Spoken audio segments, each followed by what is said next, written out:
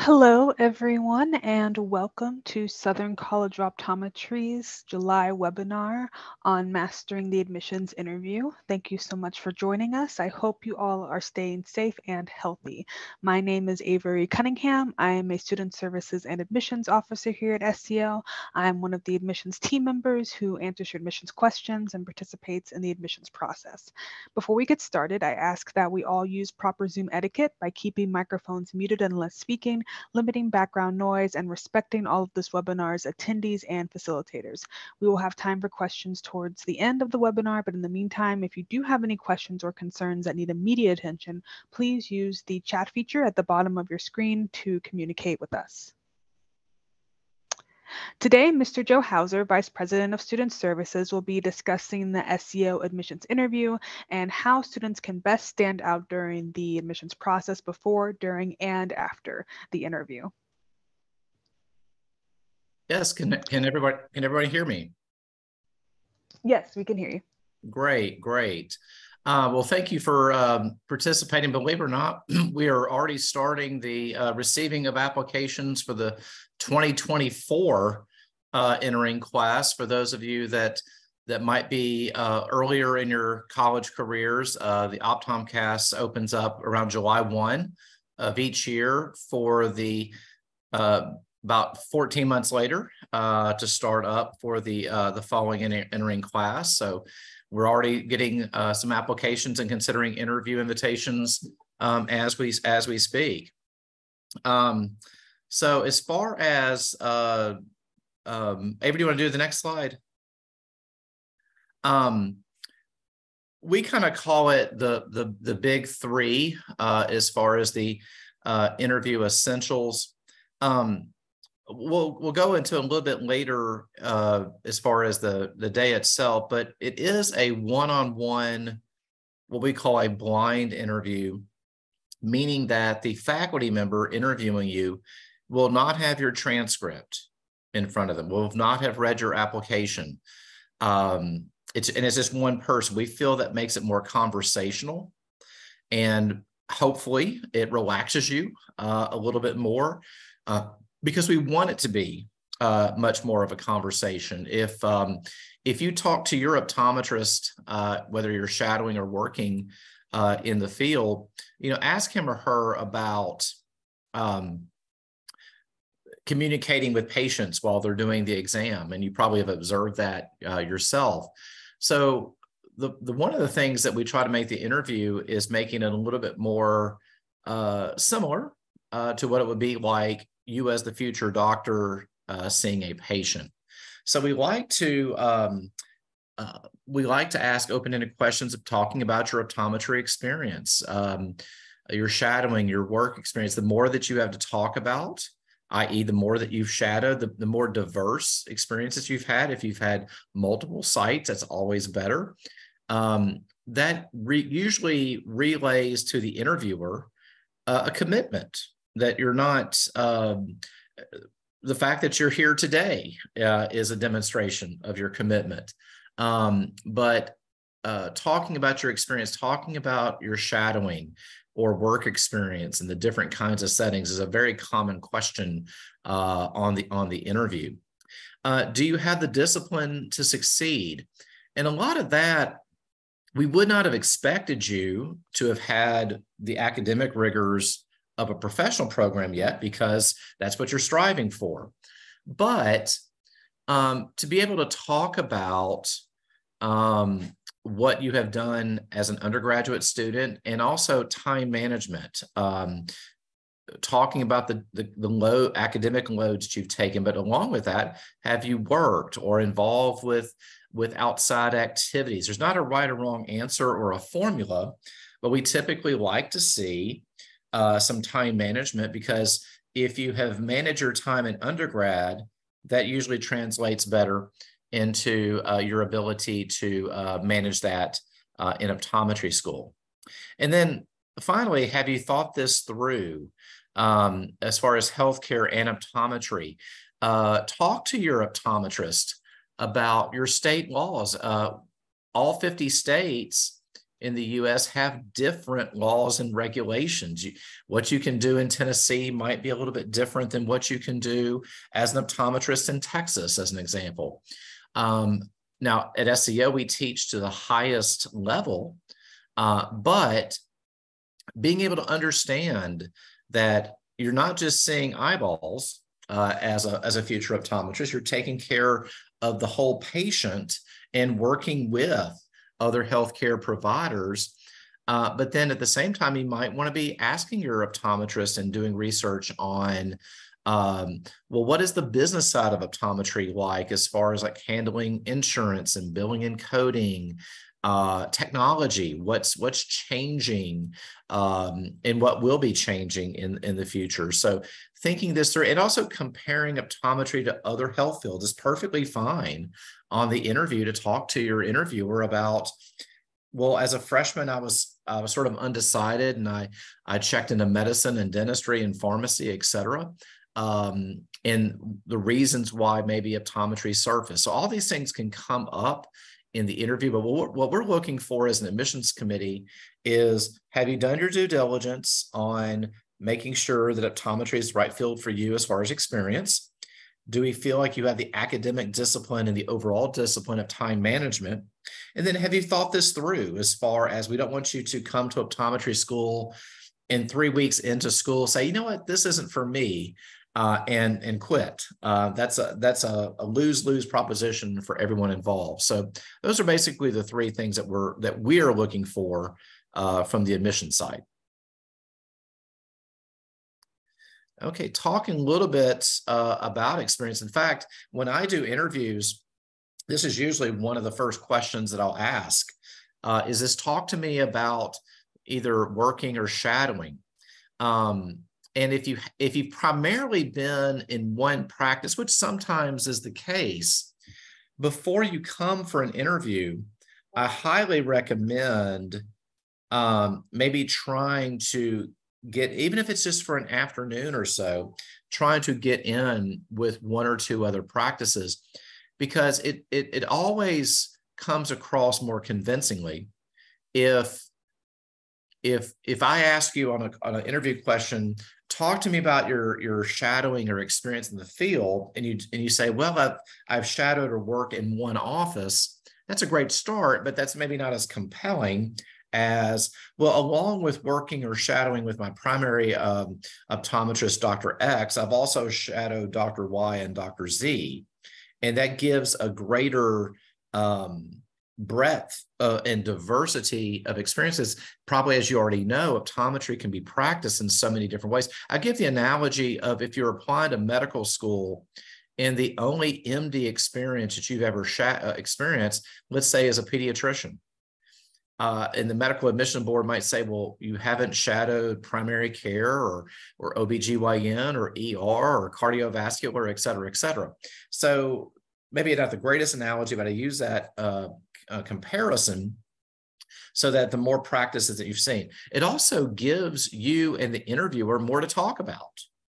Uh, maybe well, tell me the differences in the practice that you've seen. It, it creates more of a conversation, which makes it um, um, which makes the, the conversation typically go better.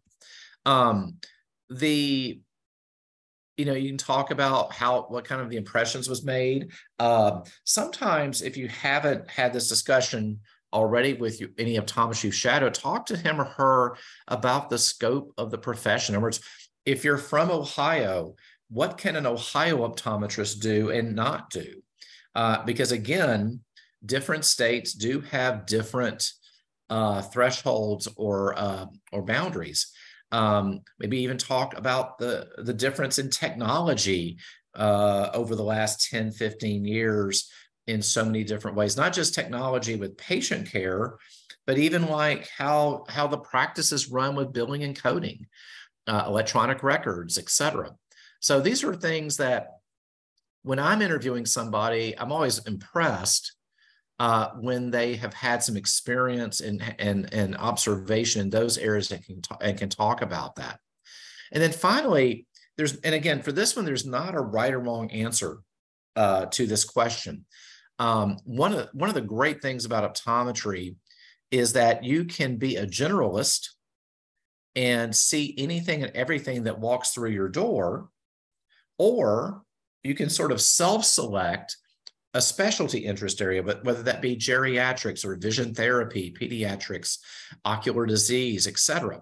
So again, there's not a right or wrong answer uh, to that question, but um, if if I'm interviewing someone and I ask them, "Hey, can you think about what you want to do uh, when you graduate?" Um, and or or have you had different experiences um, and the applicant says, yes, I've shadowed a little bit with a vision therapy uh, specialist. I've I've shadowed in an OD in, uh, optometry ophthalmology practice and observed some uh, laser surgical procedures. These are all, it shows me that the applicant may have a greater depth or, or breadth of exposure, which is something we always look for.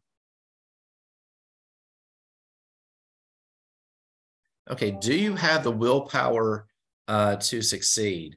Um, four years of optometry school, it, it's a marathon, not a sprint. And we're very proud at Southern College Optometry that we have a little over a 98% graduation rate, which is phenomenal, partly because we admit very smart students. Um, but one of the things I think SCO does also in, in extraordinarily well, some great support systems and also, even in the admissions review, we like to assess um, you as a person, not just your GPA and your OAT. So, what do we mean by discipline and like work life balance? Um, maybe questions would come up on the interview. Well, what do you do in your downtime when you're not in class, you're not studying, and you can talk about your interests, your hobbies, or uh, um, situations like that. Um, high pressure situations, whether that be as a student, it might be, um, boy, if I don't do well on my final exam, I'm not going to get the grade that I want in my class. But there will be pressures in optometry school because of the volume. Um, it's not so much that each individual course is more challenging than courses you've had in undergrad. But I think a great example is think about some of the toughest courses you've had in undergrad. Maybe that be biochemistry or microbiology or organic chemistry, physics. Well, instead of taking one or two of those courses uh, each semester, you're taking five, six, seven. Uh, so it's not that the individual courses are more challenging. It's just, again, the sheer volume.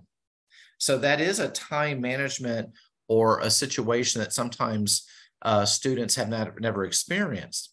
So we like to see um, how you as a person handle stress, whether it be working out or spending time with friends or making sure that you have a, some downtime, support from family uh, and friends, etc. Um, adaptability and dealing with change.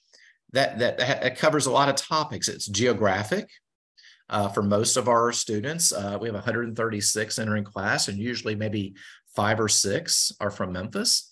So 97% or so, 98, six, um, are come are moving uh, from their hometown or city to Memphis. So that's a change. Um, going from a university of 30,000 to a, an optometry school of 530, that can be a change uh, small town to city or a very large city to a smaller city.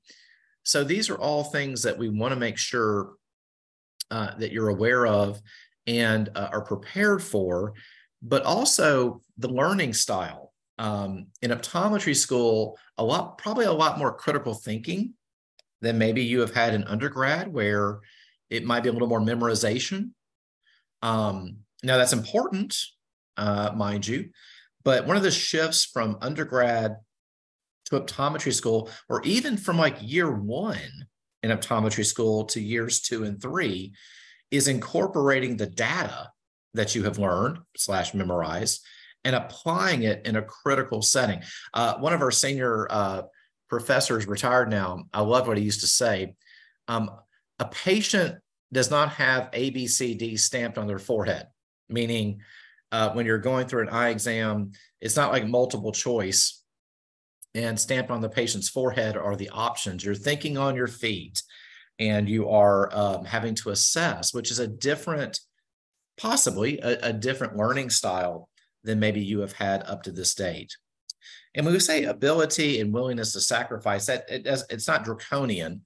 Uh, what we mean there is you may not have as much time uh, with your friends, family, hobbies, interests as you have had in undergrad. It's important to still have those. But instead of um, going three, four times a week to um, X or Y or whatever entity you may have, you may maybe only able to go once or twice a week. Um, you typically certainly with with technology you have so many different options of communicating with your families back home but going back home every weekend really isn't a viable option because you're using that time to study. So there are some things. Now when we say all this the field of optometry is so wonderful and provides a great opportunity. It's worth the sacrifice or the time. Excuse me. But it is it is something that you want to be mindful of because again you can't really go to optometry school and become a doctor and spend 30 hours a week um, also with a hobby or or other interests so there's things to keep in mind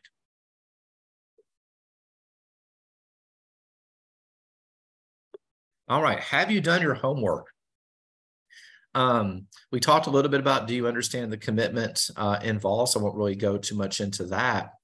Uh, do you have realistic ideas regarding healthcare optometry or critical issues? So relating to like, do you have a good understanding?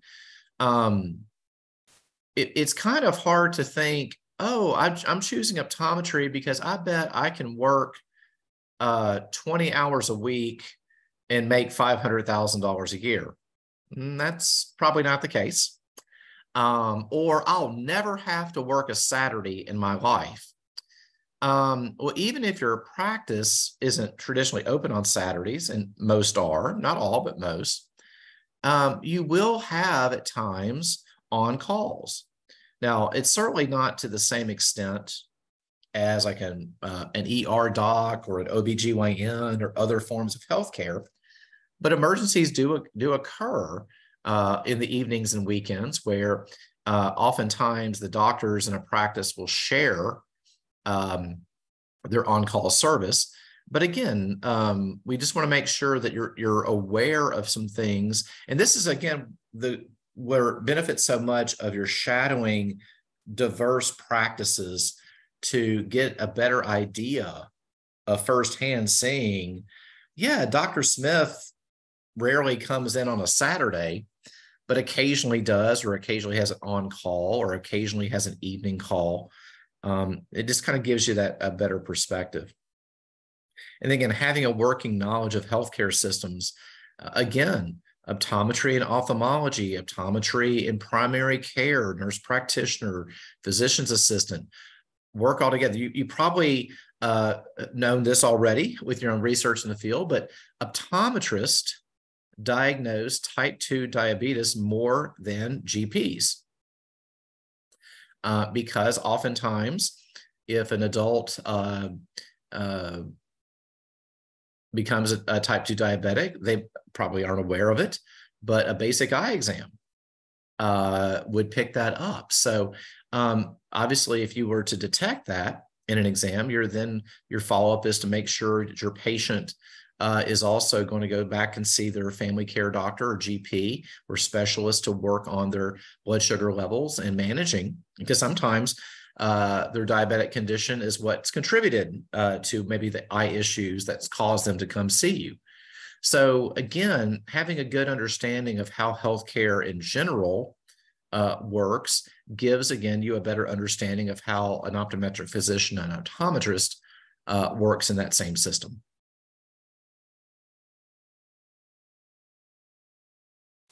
Okay, the admissions process, and some of you may have already started this process. The OptomCAS uh, cycle starts usually July 1 of each of each year. So it's been about three weeks now. uh, that the cycle has been open. Uh, you are all schools of optometry, all 23 require the OptomCAS application. We have a supplemental application, which should only take you like five or 10 minutes. This is directory information uh, that we ask for. The earlier you apply, uh, the better. We are on a rolling admission. Uh, so, um, uh, so one of the common questions we get is I have everything, but I'm lacking one letter of recommendation, or I'm taking the OAT on September 15th. Is there any reason for me to apply before all those items are in? And the answer to that question, 99 times out of 100, is yes, go ahead and apply because it usually takes about two weeks for your OptomCAS application to become verified, validated. And then when that last piece of information, whether it be an OAT score or a letter of recommendation or anything like that, we can act upon your file much quicker. So your app once you once you apply, your application is processed and evaluated, and that's usually by uh, several of us in the admissions uh, team. Um, doing an initial review uh, is step three. Also, with step two, if there's anything lacking, uh, our office will notify you uh, of that. As far as um, if there's something that just looks, uh, hey, we need to we need to address this. Uh, step four, as far as selection and invitation for an admissions interview, this will be emailed uh, to you uh, once those are, are, made. Now, if you've applied, let's just say like if you've applied to date and you have not received an interview invitation, that doesn't mean that we're not going to. It just with a rolling admission, we can only ask so many um, at a time. But you're not lost in the queue. Uh, it's continuously reviewed, and you can always engage us with um, in the admissions office as far as hey, I submitted my application three weeks ago. Um, I just was wanting to, to check and see uh, how my file looked. Do I need to do anything to try to improve my file, et cetera? Step five is actually coming to campus for the admissions interview. We do a, the occasional virtual interview uh, but we do we do strongly recommend uh, coming to campus. There's just not a a replacement uh, for being on campus and seeing the campus, seeing the facilities, seeing our clinic and classroom and labs, interacting with our students. In my opinion, there's there's nothing virtually we can do to replace you're having the vibe or feel of hey i belong here if, if accepted uh, this is where i think i, I feel the most comfortable uh, so we strongly uh, recommend uh, coming but the on-campus interview is the uh, the fifth step. And then finally the admissions committee meets and typically interviews are on fridays and then the occasional mondays in september. And the admissions committee meets on tuesday. And we do something kind of old school. Uh, after we meet as a committee, we pick up the phone and call you to let you know uh, about your admission status. So we do try to meet very promptly, very quickly after the interview timetable while everything's kind of fresh on everyone's mind. So once you interview, uh, you should be you should hear back from us uh, in just a matter of days.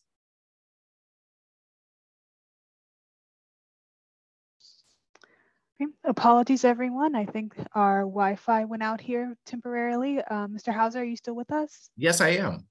Okay, alrighty, let's get back on track.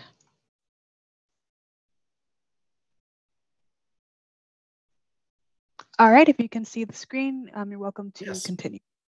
Very good. Well, let's go to the next slide. Okay, the cycle, which is kind of similar to um, we talked a little bit about. Uh, you're invited for the interview. And on the interview day, when I say psycho, this is really more about the interview day more than anything else. Um, the blind interview I, I, referenced earlier, it's a one-on-one uh, closed file or blind file. Again, meaning the interviewer will not know what your GPA is, uh, what your OAT score was, where you went to school.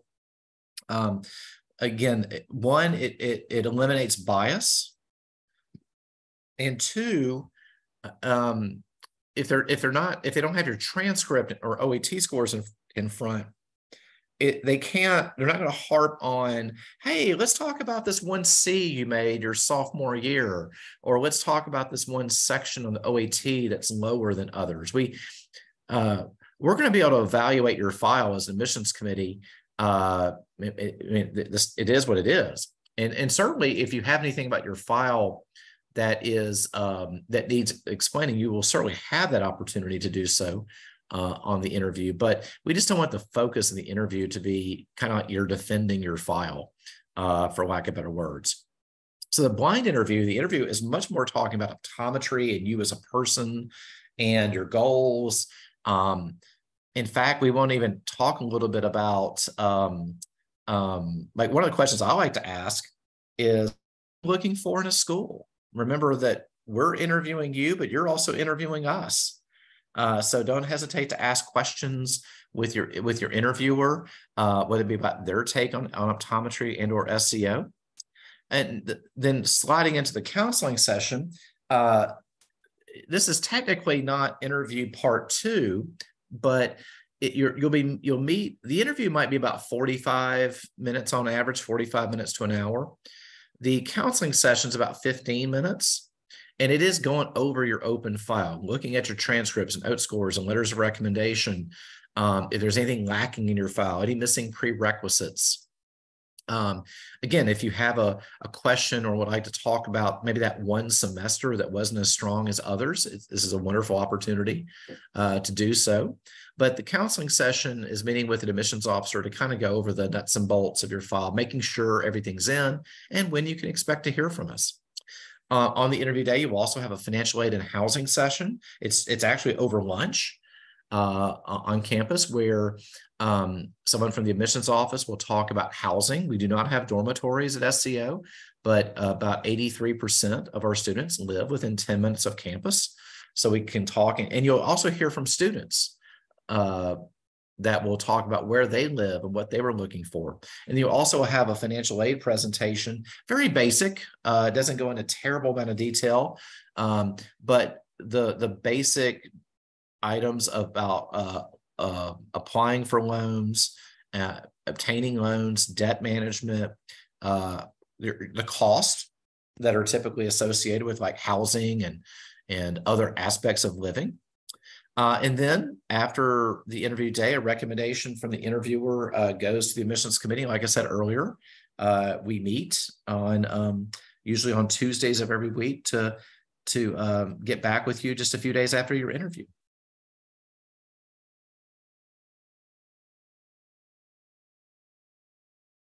Okay. Before coming or signing up, this is this is this might be more my age coming out. Um, almost sounding a little parental uh, here. So when you get your interview invitation, you'll usually have several days from which to choose.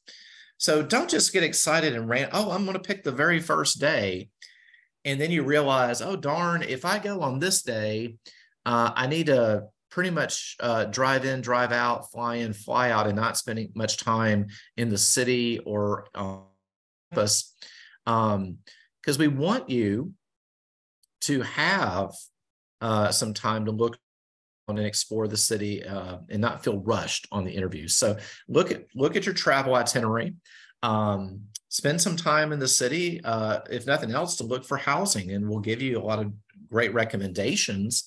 Uh, and you actually will have a, a little tour of the city uh, on the interview day, just the, the area around the campus that will show some of the places where students live, but it doesn't replace maybe driving to some of those areas and maybe even looking at some apartments. Um, whether or not you want to bring guests uh, to the interview day, it's it's there's not a right or wrong answer. I might not suggest bringing six people.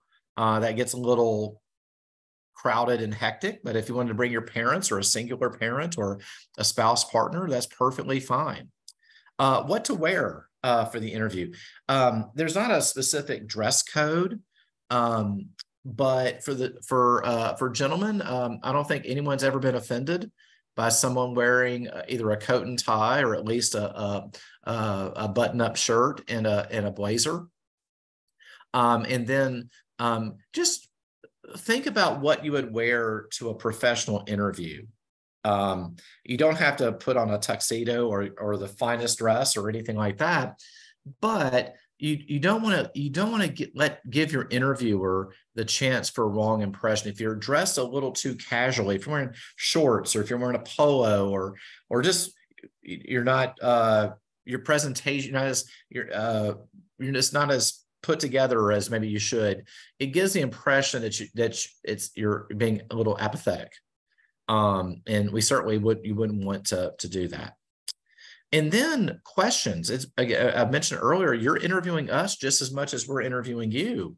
So at, come with questions, whether it be about what makes SCO stand out, what what are the things that you need to know about SCO And if if it doesn't come up naturally on the interview day, ask your interviewer, ask your tour guide. You will have opportunities to talk to students without those of us in admissions around. So you'll have that opportunity to, hey, I really want to ask this one question that, but I didn't want to ask it in front of my interviewer.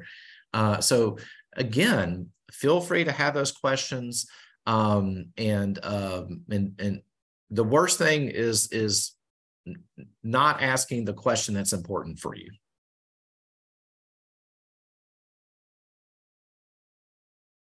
So, so, so potential high, high, uh, often, often fielded questions from interviewers. You know, tell me about yourself. They again, uh, the interviewer wants to know about you and what's important to you, and, and, and allowing you to kind of talk about yourself in a comfortable setting will give the interviewer a chance to kind of implicitly see your own communication skills. Um, one thing I didn't mention earlier is our faculty that are assigned to interviews are also patient providers, clinicians in the clinic. They will work with you. So, one of the barometers that they might look for in evaluating an interview is can I see myself working with this student in their third and fourth year in clinic? So, that's a, a kind of the reason to talk about yourself a little bit to communicate. Why do you want to be an OD? We, we want to also make sure that you have a realistic expectation of what optometry and also have you done your due diligence and homework about optometry. Um, uh, and again, this is not a trick question, or but it's often if you don't get into optometry school, what what are your plans? Whether it be well, I'll plan to apply again, or I'll, I'll think about another field in in healthcare. Again, not a right or wrong answer, but a question that some of our interviewers ask. Um, and then also um, usually at the end of the interview or the interview will give you the opportunity if there's anything you'd like to add or share that again didn't come up in the interview and or if you have any questions of them it's very appropriate. In fact it's encouraged uh, to ask the interview even if it's dr x where did you go to optometry school and what's the difference between sco or if you went to sco um, what do you think about the school? So there's there, there's perfectly uh, what, what is it like living in memphis? Uh, the interviewers are very open uh, to fielding any questions that you may have.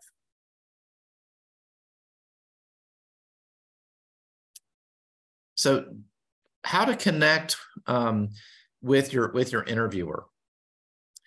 One of the things, just in life, um, putting yourself, the empathy, putting yourself in the other person's shoes. Uh, one of the great ways of thinking about uh, how can I do well in an interview, put yourself in the shoes of the interviewer. Um, how the first little bullet there, what will make it easier for them to fill out their evaluation? Well, if you if you answer all the questions very succinctly, yes, no, or or not really elaborating, well, that's going to make it harder for the interviewer to um, uh, to assess your conversation skills. Now, conversely, if you talk um you know if it turns into a two hour interview uh that could be a negative too because so you want to you and also don't avoid the question. If the if a if a fact member asks you on the interview talk to me about the toughest course you ever had in college uh don't talk about the your part-time job. Talk about the toughest course you had in college. Uh, try to address the question that was there. Was the was the exchange pleasant? Usually 99 times out of 100 it is, but the more courteous and and um you know be respectful. Um I always suggest if your faculty member is introducing themselves, uh, refer to them as, like, for example, if you're interviewing with Dr. Erin Kerr and and she introduces herself as Dr. Erin Kerr, uh, I would call her Dr. Kerr uh, until she may say, "Oh no, just call me Erin." Uh, but initially, uh, I think uh, it's always courteous to refer to the to, to the faculty member interview as as doctor. Um, were you energetic? Um, uh, again, the vibe. Did did the interviewer feel like you were excited to be here, um, or apathetic? Uh, kind of going through the motions, body language. If if someone, in my opinion, is sitting in the chair, kind of slumped over or slumped down, um, and not really seeming like paying attention, it's kind of like, do they really want to be here? Um, now, again, be mindful. You don't want to be too energetic or, or over the top, um, but just trying to uh, make sure that you're um, giving the interviewer a strong feeling that you're in, you're very interested. Um, you know, give them something to work with. Did the interviewer have to uh, press you for information? What I mean, but really by this is continuously asking a follow-up question again to the uh, John, Jane, what was the toughest course in college? And you don't answer it, and the and, and the interviewer has to ask it again because they're going to say, "Listen, I want I want an answer to this." So again, if they have to continuously press you, that means you're not really addressing their question. That could be a modest concern. Was the interview fun? Was it engaging? We try to make it very casual and and and again conversational, but part of it is to um, a win-win is when both the interviewer and the and the applicant uh, have an enjoyable experience. And then what is unique about you? Uh, not that it has to be something incredibly significant, but again, if there's something, I think a healthy approach is on the before you come for the interview day, think to yourself, okay, they're going to know my GPA, they're going to know my OAT, um, and there's going to be some things on the application, like in my essays, maybe. But what are the two or three things that you want Southern College of Optometry to really know about you and your beliefs and or um, what's important to you? Is a good thing to say. I want to make sure I convey these in my interview and or in the counseling session, and that usually bodes well.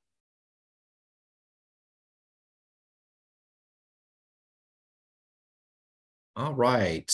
Um, corresponding after uh, you know how you know should you follow up with the interviewer is perfectly fine um, emails or little hand thank you notes uh, again um, this is this might be more my age coming out um, but like for example uh, it's incredibly courteous and appropriate to send uh, an email or a thank you note to the interviewer thanking them for their time but again I would address them as Dr. Kerr, not Hey, Erin. Uh, again, it it it might it might seem Hey, if I if I if I say call her by her first name, it shows that we really connected, and that might be true. But I do feel when you're first learning or know getting to know someone, it, it's it's never it's never a bad idea uh, to uh, pay the respect or show the respect uh, by saying, oh, Dr. Kerr or Dr. X. Um, and then if you were to send an email, um, it doesn't have to be anything formal, but uh, by any means, but I would, I would, I would try to refrain from it being too casual.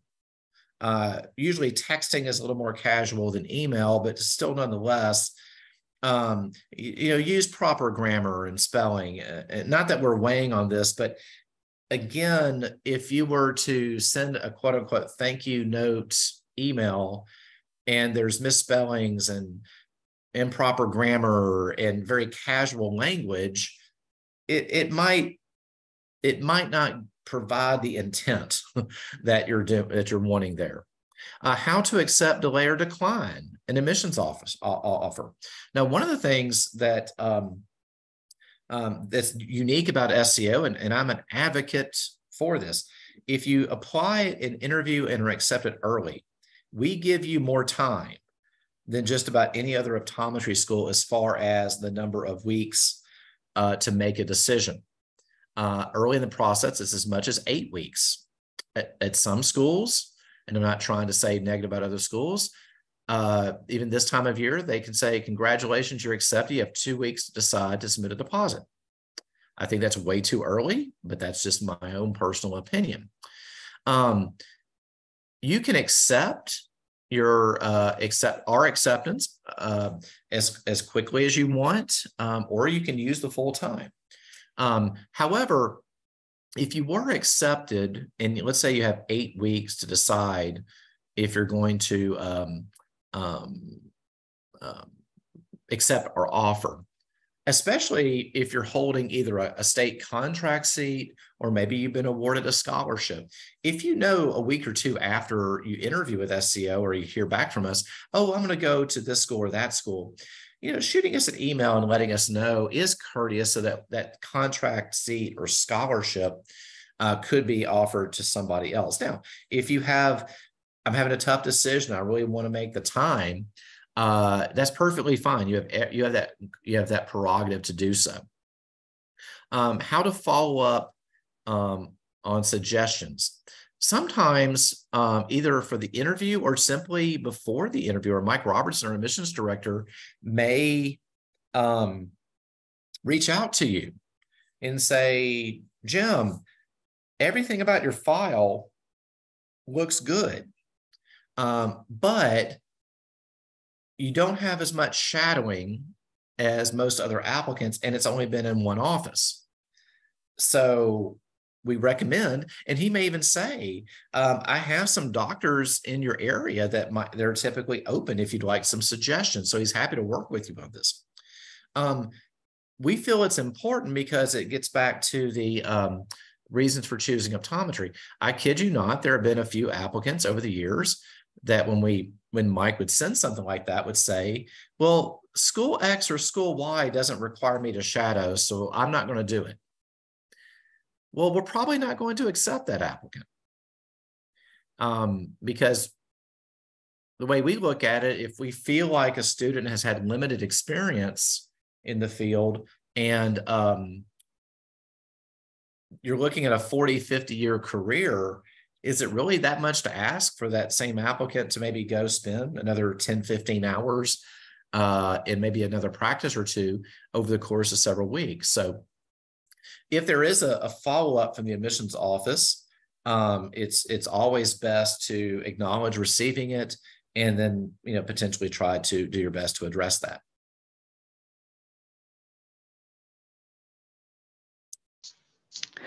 Alrighty, that brings us to the end of the webinar currently, but now is a great time for questions from any of our attendees.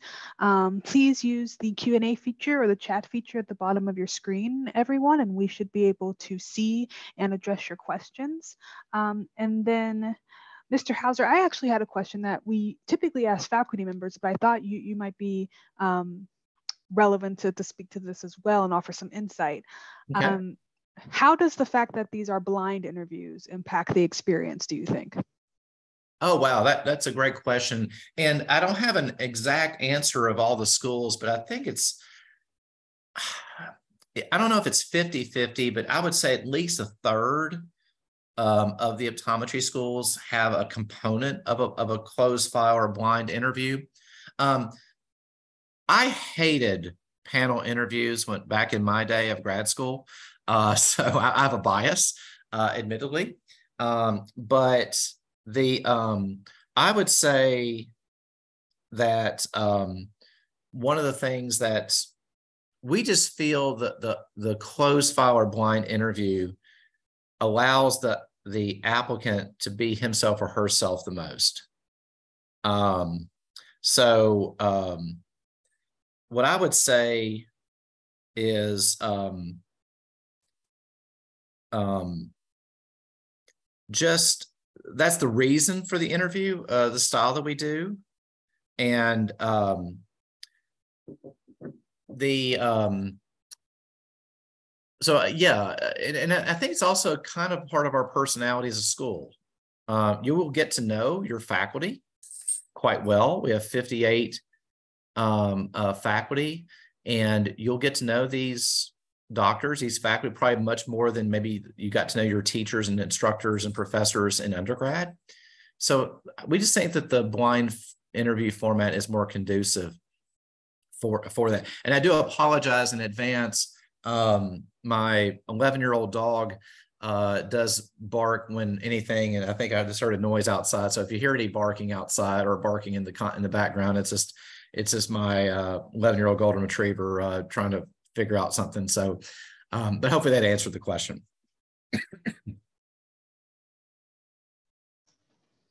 Wonderful, thank you.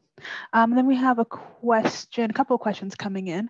Um, will students selected for interviews know who will be interviewing them beforehand?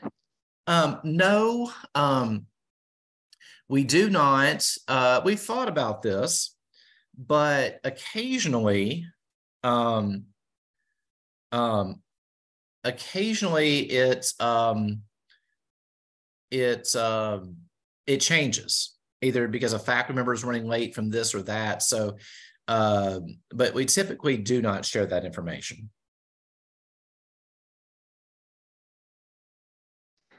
Alrighty, and then how would we submit our shadow or work experience when we apply to SCO?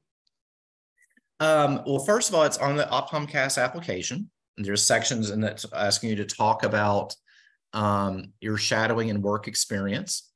If you have additional, once you've submitted your application, you can go back and update your OptomCAS application uh, at any time, or uh, you could, um, um, or you could um, um, send us an email by simply saying, "I have done these hours."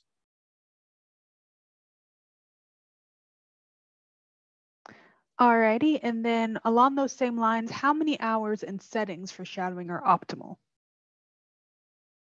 Um, I would say at least three offices is ideal to give a good diversity. And typically, we like to see, again, optimally, at least 50 hours. Again, this is over time. This is not, you know, uh, 50 hours in each office or anything like that. Um, but that would be the um, um, the recommendation as far as um, um, and also when we say diversity when you go to your second optometry office to shadow you'll you'll kind of know how similar and how different it is uh, and if and if you keep going to practices that are, are somewhat similar um, then maybe even contacting the school to, to kind of assess what kind of shadowing you've had. And then we can give some recommendations. It's not your fault as an applicant if, oh, this is the third vision therapist I shadowed, uh, and I just didn't know that that was the case. But getting it differences like shadowing a doctor that's in, you know, just a, a one doctor office then maybe shadowing a practice with multiple doctors or a practice where there's optometry and ophthalmology uh, together. Uh, that mixture is always uh, good so that you see that diversity of shadowing. Alrighty, and then another question. Um, a few other questions. Thank you guys. Um, if students retake the OAT, will the highest score or the most recent score be considered more heavily? It's the highest. Um, so, like for example, if I'll I'll use probably the most uh, common uh, area, a 300 on the academic average is is just that. It's about the national average. It's it's an okay score, but it's not a great score. And if a student says, "Oh, if I'm if I'm if I'm asked to take it, I'm worried. What happens if I go down?" So if you were to have a 300 and, and it's encouraged to retake, and you make a 290 afterwards, the 300 still stands um, as your um, as your official score. Conversely, if it goes up, uh, then it's then it's the highest score, not uh, necessarily the most recent. Alrighty, and then another student asks, do you prefer volunteer hours as well? If so, how many? Um, are we talking about volunteering in optometry or volunteering like extracurricular? They don't specify, but let's assume both. Okay, good, very good.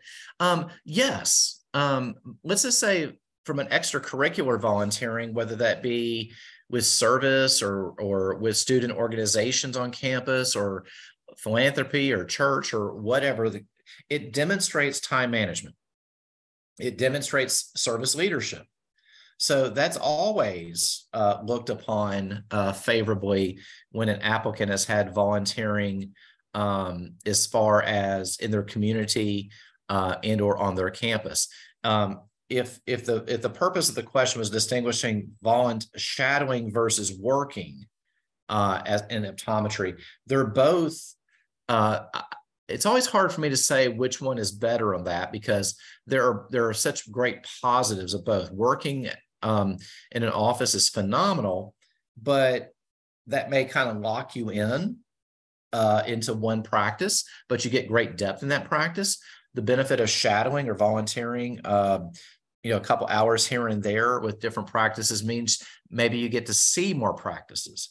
So there's there's wonderful benefits of both. Um, I wouldn't say that I have a preference of one versus the other. I do think that if you have worked as a tech uh, or as an um, optometric assistant in the office, it does give you um, maybe a better chance to get to know the optometrist better and, and, and ask him or her more detailed questions uh, and maybe get a better feel of what day-to-day life is in an optometry practice. Thank you. And then a couple more questions. Um, when should we expect to start seeing interview invitations? Very soon. Um, um, we're, I, I believe we're, we may have been uh, sent out a few uh, based upon the OptomCAS applications that have come through. They've already been verified, validated, uh, and everything. Like I said, I want to mention like if you've submitted your application, let's say if you submitted your application yesterday and it's not verified yet, we can't invite you for an interview until that happens. And sometimes it takes uh, some time for that to happen. Uh, but we have rolling admissions, so we're starting interviews uh, next month. So um, um, the earlier you apply uh, and have everything in, like your transcripts and OAT scores and everything else, uh, the quicker we can make that determination of inviting you for an interview. Thank you. And then um, how are the three main areas of consideration of GPA, OAT score, and shadowing distinguished by the admission staff in terms of importance? Um, it's it's kind of like the old three-legged stool. Uh, we we want for you to be strong or stable in all three of the areas. Um, obviously, academics is a is an indicator of of how you'll do in the classroom. Uh, the OAT along the same lines, but also you'll be taking standardized tests in optometry school for national boards. Uh, so therefore, um, right, wrong, or indifferent, uh, to become an optometrist, you have to have a certain standardized test taking ability to pass national boards. So we want to see how you do on that via the OAT. And then, you know, shadowing and other things like communication skills are very important because optometry is a clinical profession. Um, you're, you're going to be interacting with people and talking with patients and showing empathy and sympathy um, and compassion, uh, professionalism. Uh, so therefore, those more subjective components uh, are are vitally important to us as well.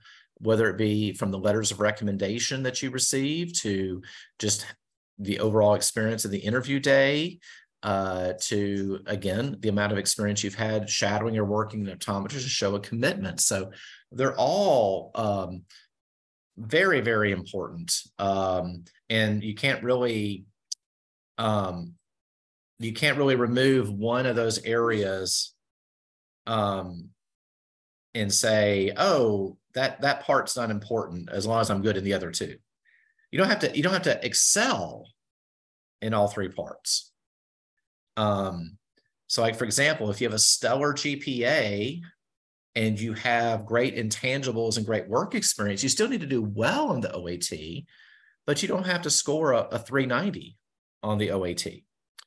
Um, conversely, if your GPA is a little bit lower for a variety of maybe different reasons, a high OAT can offset um, that maybe concern. So um, they're all important and they're all factored in. Alrighty, and then I think we'll make this our last question so we can end on time. Um, is an applicant able to submit their application before taking the OAT? Is it possible for interviews to be offered before an OAT score is submitted? Um, it's a yes no on that one. Yes, uh, you can. In fact, and it's encouraged. Uh, so let, us let's let's let's use a time a specific timeline. Let's say someone is planning to take the OAT on September first, and that that applicant is thinking, well, is there a reason for me to apply before September 1st? My response to that would be go ahead and, and submit your application uh, because it does take time for OptomCAS to uh, process. And uh, you don't you don't want to create a time bottleneck. Um, so you get, let's say you, you submit your application on August 1st or August 10th. And then by the time you take the OAT, everything about your OptomCAS file is ready. Also, a little uh, hidden note is that when you take your OAT, for those of you that haven't, you leave the test center with your scores. The schools will not get your official scores for about 10 days to two weeks. So it's perfectly appropriate. Let's say, with that example of taking the OAT on September 1st, if you apply sometime in August, and everything's done and verified and ready. And the only missing piece of your puzzle of the puzzle is the OAT. And on September 1st, you walk out of the of the testing center with your scores. You can email us your scores. It's not official, but we will count that for an initial review.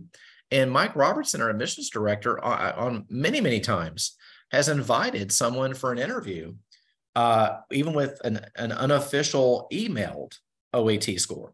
So that's just an example of um,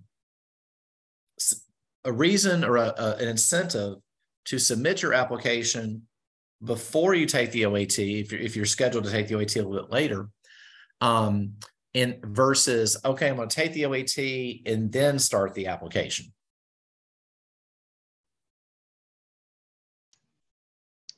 Alrighty then, so those are all the questions I'm afraid we have time for right now, but as you can see, Mr. Hauser's email is on the screen in front of you, so feel free to contact him directly should you have any additional questions going forward. Absolutely. Um, so that brings us to the end of our webinar. Um, I know we have covered a lot of information today, um, but I hope this experience has been of assistance as you start on your optometric journey. Our next webinar will be on Monday, August 21st at noon, and the focus will be SCO scholarships and contract seats. The registration link will be live on the website tomorrow. If you haven't done so already, I invite you to request more information by signing up for our inquiry form. You will receive a personal advisor and a personal brochure with information relevant to your goals and experiences. Thank you to Mr. Hauser for sharing his time and experiences, and a special thank you to all of our attendees who have joined us. We hope to see you all at the next webinar in August, but in the meantime, have a great rest of your week and take care.